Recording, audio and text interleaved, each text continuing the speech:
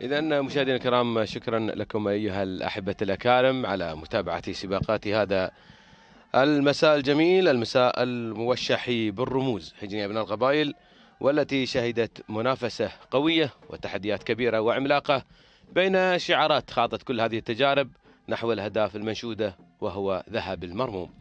في أول أمسيات هذه الليلة مع 16 شوط ولكن كأس دبي وكأس المغفور له الشيخ مكتوم بن راشد المكتوم.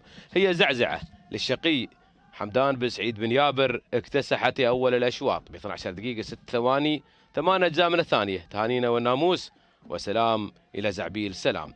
الشوط الثاني يحضر يحضر المهند صاحب ثمانية رموز لمالك حمد بن راشد بن حمد بن غدير ليسجل التوقيت الأفضل في هذا المساء ب 12 دقيقة وخمس ثواني وست أجزاء من الثانية. تهانينا والناموس وسلام يا مرغم سلام.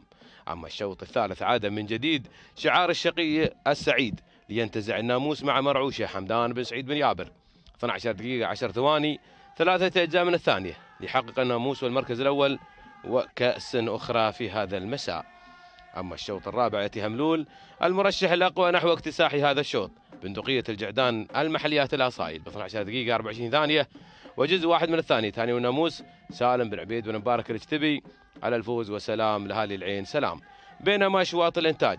وكأس الإنتاج ذهب لوسام مع بن هيان حمدان بن سالم بن هيان العامري حيث قطعت الناموس ب 12 دقيقة 9 ثواني وجزئين من الثانية. تهانينا لهالي الهير سلام. راعي اليمشى سلام. بينما مسعود قدم كذلك بندقية الجعدان في هذا اللقاء مع أشواط الإنتاج والمنتجين. ليحقق المركز الأول ب 12 دقيقة 21 ثانية ثمان أجزاء من الثانية. ثاني الناموس يا بن هيان بإضافة رمز ثاني في أمسية رائعة من أشواط الرموز.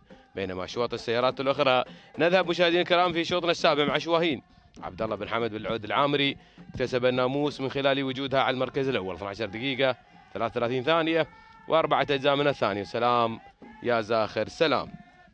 أما الشوط الثامن حضرت من خلاله بينونة لمالك مانع بن علي بن حماد الشامسي خاطفة هذا الشوط. 12 دقيقة 17 ثانية جزئين من الثانية. ومهدية أهالي العاصمة الحبيب أبو ظبي هذا الناموس. شكرا علي بن سعيد الزرعي.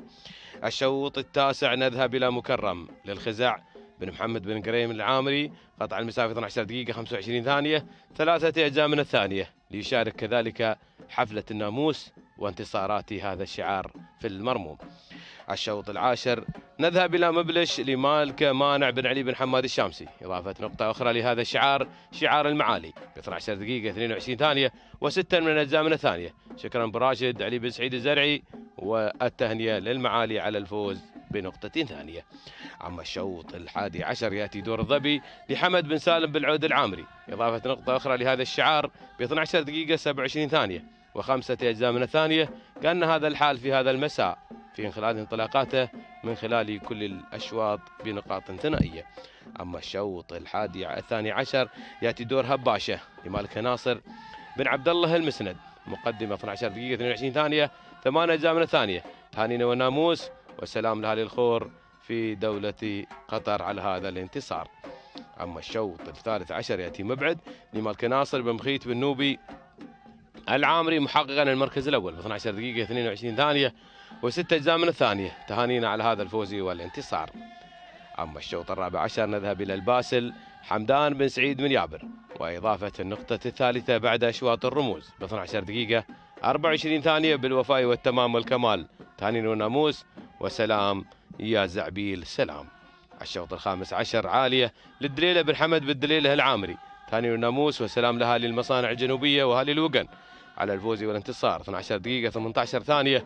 بالوفاء والتمام والكمال حيث حلقت في ناموس هذا الشوط بالإبداع والإمتاع.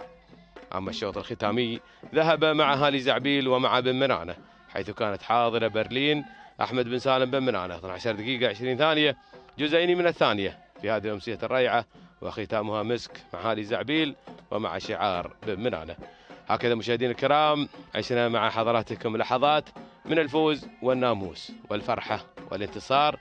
والتفوق والإبداع والإمتاع في مساء الكؤوس ومساء أمسية هذه الليلة من منافسات الثنايا لهجن أبناء القبائل. في الساعة السادسة والنصف مشاهدينا الكرام هنا مزاد المرموم ومزاد المجموعة العلمية الذي سينطلق مع نخبة من الأصايل. ندعوكم دائما لمتابعة الجديد والجميل في قناة دبي ريسنج لكم شكر جزيل على المتابعة من مخرج هذا السباق تيسير شنابله وطاقم العمل الفني لقناة دبي ريسنج من أمام المايك حمد مضوي الشامسي أتمنى لكم أوقات سعيدة والسلام عليكم ورحمة الله وبركاته.